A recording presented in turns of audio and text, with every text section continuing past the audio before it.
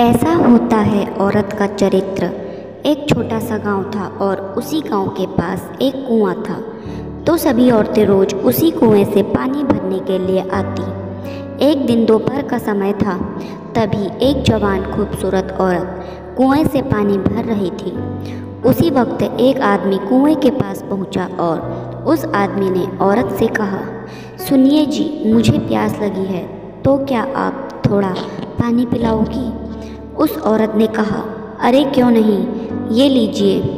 इतना कहकर उस आदमी को खुशी से पानी पिलाने लगी। फिर वह उस आदमी ने पानी पीने के बाद उस औरत के सामने देखते हुए पूछा, क्या मैं आपसे एक सवाल पूछ सकता हूँ? औरत ने कहा हाँ बोलिए। उस आदमी ने कहा, क्या आप मुझे बता सकती हैं कि भगवान भी किसी औरत के चरित्र को बता क्यों नहीं सकते? इतना कहने पर वह औरत ज़ोर ज़ोर से चिल्लाने लगी, बचाओ, मुझे बचाओ। उस औरत की इस तरह की आवाज़ सुनकर गाँव के कई सारे लोग हाथ में लाठियाँ लेकर कुएँ की तरह दौड़ने लगे। तो उस आदमी ने बड़ी हैरानी से कहा, कि आप ऐसा क्यों कर रही हैं? वो आदमी इतना बोल ही पाता है। तभी उस औरत ने कहा, ताकि गाँव के लोग आए और आपको खूब पीटे और इतना पीटे इतना पीटे कि आपके होश ठिकाने आ जाए।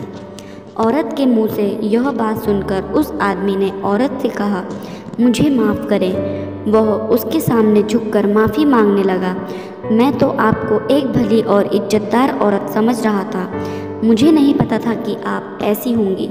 मुझे माफ़ करें। वह आदमी उससे माफ़ी मांग ही रहा था तो तभी अचानक उस औरत ने कुएँ के पास पानी से भरा हुआ मटका अपने हाथ में लिया और मटके का सारा पानी अपने शरीर पर डाल दिया और अपने शरीर को पानी से भिगा दिया। इतने में तो गाँव के कुछ लोग भी लाठियाँ लेकर कुएँ के पास पहुँच गए और पास आकर औरत से पूछने लगे कि, बहन जी, क्या हुआ? गाँव वालों के पूछने के बाद उस औरत ने कहा, आप सबने यहाँ आने में बहुत देर कर दी। मैं इस कुएँ में गिर गई थी। भला हो इस आदमी का जिसने मुझको जल्दी से आकर बचा लिया।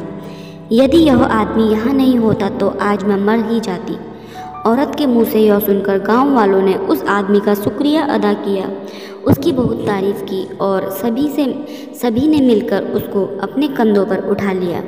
यह सब देखकर वह आदमी बस सोचे ही जा रहा था कि इस औरत ने देखते ही देखते क्या कर दिया। गाँव वालों ने उसका खूब आदर सत्कार किया और उसे चांदी के कड़े का इनाम भी दिया।